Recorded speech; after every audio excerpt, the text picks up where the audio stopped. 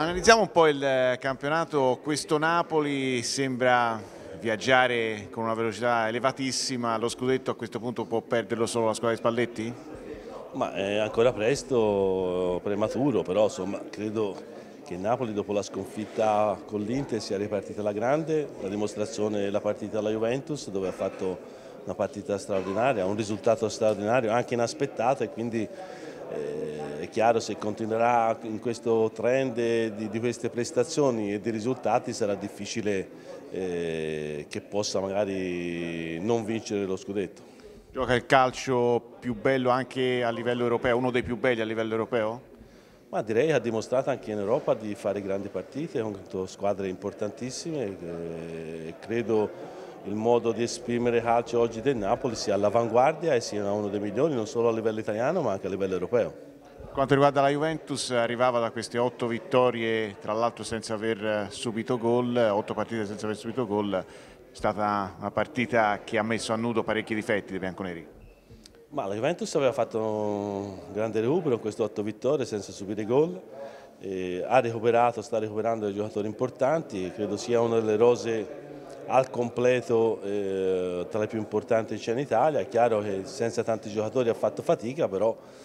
eh, questa sconfitta è stata un po' pesante, però credo che abbia tutti i mezzi per rialzarsi, poter ripartire anche con il recupero di alcuni giocatori che stanno, si sono appena affacciati al campionato della Juve. Per quanto riguarda il Milan non ha iniziato certamente bene questo 2023, eh, che è successo? Sta pagando probabilmente anche una sorta di eh, eccessiva eh, euforia legata allo scudetto, una sorta di pancia piena come ha detto qualcuno oppure magari anche dal mercato ci si aspettava di più? Ma con la Roma è sembrato più causale, insomma la, la, la partita, la prestazione l'avevano fatto, poi ha subito questi due gol su palla nativa ma insomma stava dimostrando di essere in palla. La partita con il Lecce sicuramente bisogna dare grandi meriti al Lecce, l'ha interpretata veramente bene, però insomma Forse l'inizio del primo tempo è stato preso un po' in sufficienza, non pensavano a Lecce così in forma, così determinato e hanno pagato questo aspetto e poi nel calcio italiano, come si sa, non c'è mai una partita eh, facile da vincere, poi sono riusciti a rimediarla, però insomma dal Milan è chiaro che quando va a Lecce ci aspettiamo qualcosa di più. Adesso ci sarà anche la Supercoppa tra Milan e Inter, la squadra di Inzaghi non arriva in maniera brillantissima a questo appuntamento pur avendo vinto l'ultima partita contro il Verona. Ma credo nelle ultime dieci ne abbia pareggiato o persa solo uno, quindi insomma è chiaro che vedendo la classifica sembra in difficoltà, ma credo che, che l'Inter sia ancora oggi la squadra più attrezzata per disputare questo campionato italiano. È chiaro che ha avuto diversi problemi, ha avuto eh, qualche sconfitta troppo inizialmente, è un po' staccata da quanto riguarda eh, la prima posizione, ma credo sia una di quelle squadre che può sicuramente fino alla fine dire la sua. Per quanto riguarda l'Atalanta si è definitivamente rilanciata anche con questo 8-2 rifilato alla Salernitana? Ma l'Atalanta è una squadra forte, una squadra che tutti gli anni pratica un, un bel calcio, lancia tanti giocatori, scopre dei giocatori importanti, anche ieri sera ne abbiamo visti alcuni e credo che questo risultato dia ancora più convinzione all'ambiente, all'allenatore per poter disputare un campionato importante come ci ha abituato negli ultimi anni l'Atalanta. Da ex Viola invece cosa pensi della Fiorentina, di queste difficoltà, tante polemiche eh, per eh, anche un mercato che non è stato all'altezza della situazione? Ma eh, in questo momento è un po' di difficoltà, aveva finito il campionato in netta ripresa, poi non lo so le motivazioni, che bisogna essere all'interno per capire bene eh, poi le vere problematiche, ha, qualche, ha avuto qualche difficoltà di risultati, ha fatto delle buone prestazioni, altre meno, però credo abbia tutti i mezzi per poter rientrare in un discorso più importante. È chiaro che se l'allenatore e la società hanno visto che ci sono dei, dei, dei,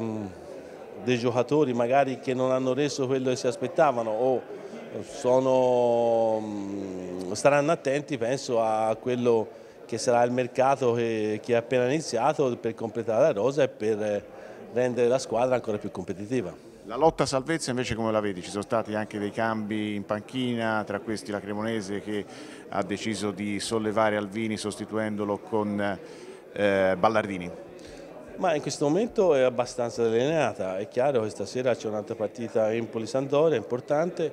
eh, però insomma queste tre squadre, Verona, e Cremonese e, e Sandoria, sono staccate con diversi punti da, dalla quart'ultima. È chiaro se vogliono invertire il trend, eh, oltre al cambio dell'allenatore che eh, ad oggi l'hanno fatto tutte e tre, credo ci sarà bisogno di poter potenziare queste, queste squadre per poter rientrare in un discorso e lottarsi